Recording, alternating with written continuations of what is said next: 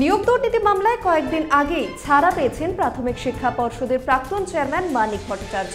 এবার সেই মামলাতেই আরও এক অভিযুক্তের জামিন। পাঁচশো পঁচানব্বই জেলে কাটানোর পর জামিন পেলেন অভিযুক্ত তাপস মণ্ডল। প্রাথমিক নিয়োগের দুর্নীতির অভিযোগে তাপসকে গ্রেফতার করা হয়েছিল।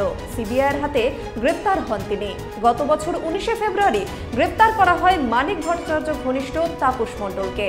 উপেন বিশ্বাস বর্ণিত বাগদার শতরঞ্জন ওরফে চন্দন মণ্ডলকে গ্রেপ্তারের আটচল্লিশ ঘণ্টার মধ্যে গ্রেফতার করা হয়েছিল তাকে।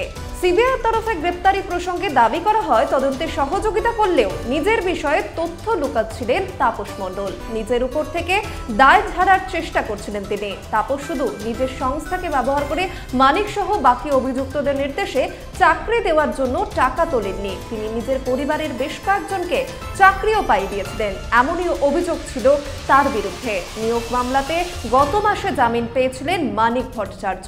তার আগে শীর্ষ আদালত থেকে জামিন পেয়েছিলেন অন্যতম অভিযুক্ত প্রসন্ন রায়। প্রাথমিক শিক্ষা পর্ষদের প্রাক্তন চেয়ারম্যান জেলবন্দি মানিক ভট্টাচার্যের স্ত্রী শতরূপা এবং ছেলে শৌকিক এবার সেই তালিকায় ঢুকে স্বস্তির নিঃশ্বাস ফেলছেন তাপস মণ্ডলও প্রাথমিক শিক্ষা নিয়োগ মামলায় এবার জামিন তাপস মণ্ডলের। বারবার জামিনের আবেদন করলেও তা খারিজ হয়েছিল।